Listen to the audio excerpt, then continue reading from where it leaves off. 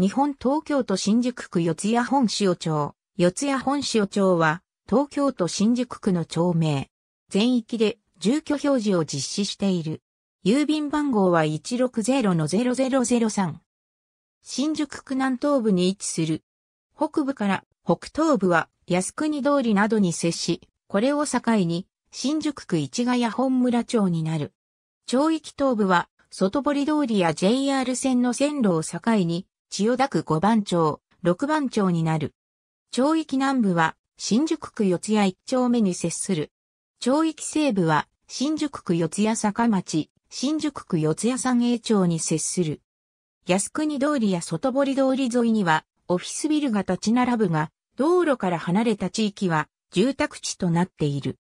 1943年、市ヶ谷本村町の南西部、市ヶ谷七県町、四谷塩町一丁目を合わせてできた合成地名。市ヶ谷本村町は1880年まで牛込区に属していたが、南西部のみ、四谷区に編入された。四谷駅前再開発事業に伴い、2016年、旧四谷塩町一丁目区域は、本塩町から分離し、四谷一丁目に編入された。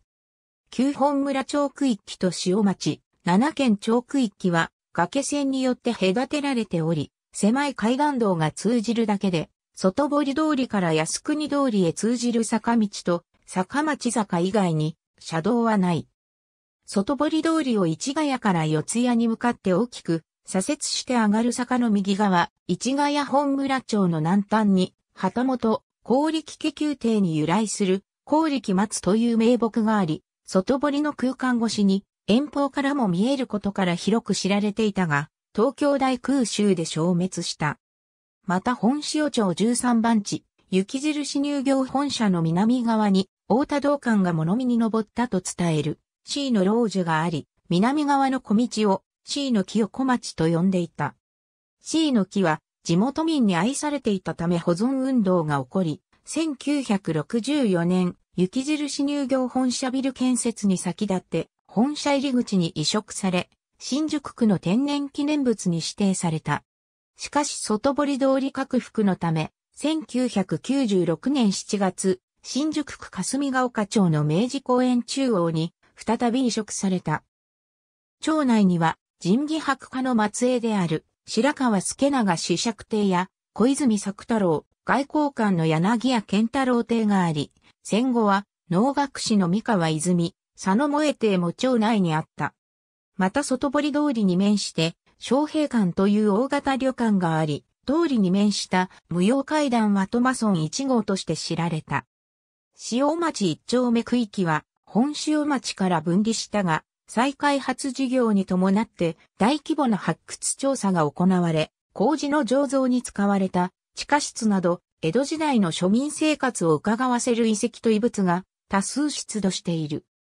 塩町一丁目の人別町や町入用町、御用流などの近世資料が江戸東京博物館に所蔵されており、文献史学と考古学の両面からアプローチできる極めて高条件の江戸遺跡として注目されている。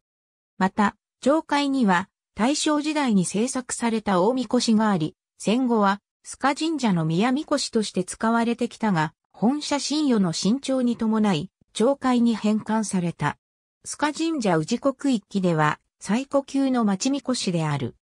2016年12月8日の新宿区議会において、本塩町は2017年9月19日から四谷本塩町に改められ、住居表示が実施されることになった。2019年12月1日現在の世帯数と人口は以下の通りである。区立小中学校に通う場合、学区は以下の通りとなる。町域内には鉄道駅はないが、南西部方向に地下鉄丸の内線、JR 中央線の四谷駅が至近にある。かつては都電3.12系統の停留所として本塩町があった。